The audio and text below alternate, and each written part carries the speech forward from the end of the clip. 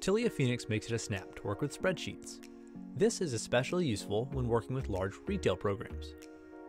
Start by opening your spreadsheet in Excel. Select the items you want to plan or estimate. Map your columns in the CSV mapping interface. Tilia Phoenix will import hundreds or even thousands of line items in just one shot. Plan rules make it simple to organize products by store ID, due date, or any other field.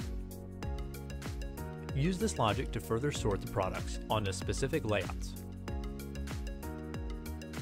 Run Imposition AI to return print time, material usage, and even digital cutting time for your jobs. Export print-ready files to your RIP and cutting files to your table. Streamline your retail programs by importing entire spreadsheets of data.